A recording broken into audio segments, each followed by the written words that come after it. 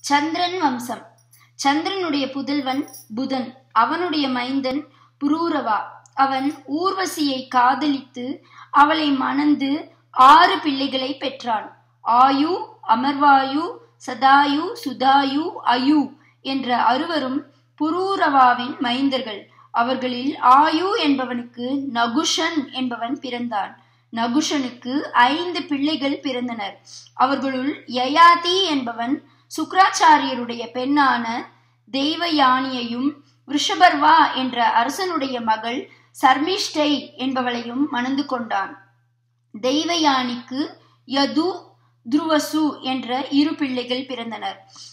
துருக்கியு அணு பூரு ஆகிய மூன்று பிள்ளைகளும் சர்மிஷ்டைக்கு பிறந்தவர்கள். தெய்வயானியிடம் யயாதி அன்பு கொண்டிருந்தாலும் சர்மிஷ்டையிடமும் அவன் அன்பு செலுத்துவதை அவள் விரும்பவில்லை.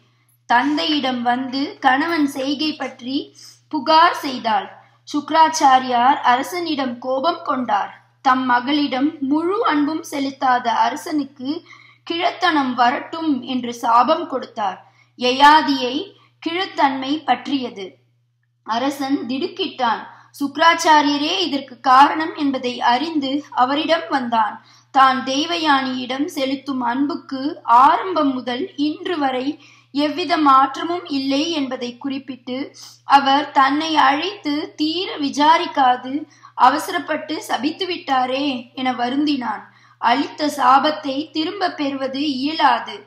ஆகவே யயாதி தன் கிழத்தனத்தை தன் பிள்ளைகள் எவரிடமாவது தந்துவிட்டு அவனுடைய இளமையை பெற்றுக்கொள்ளலாம் என்றும் மீண்டும் விரும்பும்போது இளமையை கொடுத்துவிட்டு கிழத்தனத்தை திரும்ப அடையலாம் என்றும் கூறினார் சுக்ராச்சாரியார் யயாதி தன் குமாரர்களை அழைத்து தன் கிழத்தனத்தை பெற்றுக்கொண்டு அவர்களுடைய இளமையை தருமாறு கேட்டான்.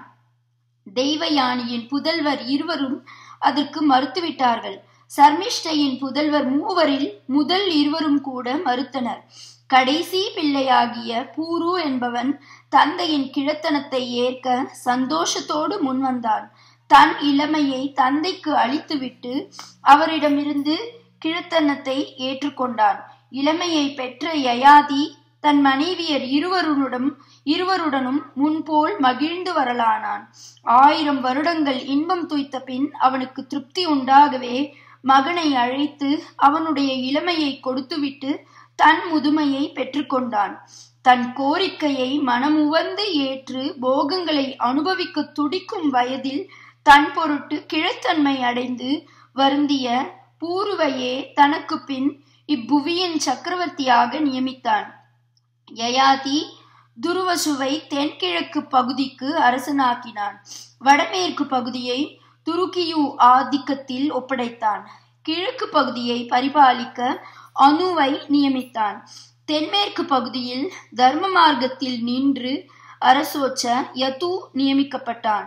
இவ்வாறு நாட்டு நிர்வாகத்தை ஐந்து பிள்ளைகளிடமும் ஒப்படைத்துவிட்டு யயாதி தன் மனைவியர் இருவருடனும் கானகத்தை அடைந்து அங்கே ஈசனை குறித்து தவமிருந்து முடிவில் அவர் திருமலர் பாதங்களை அடைந்தான்.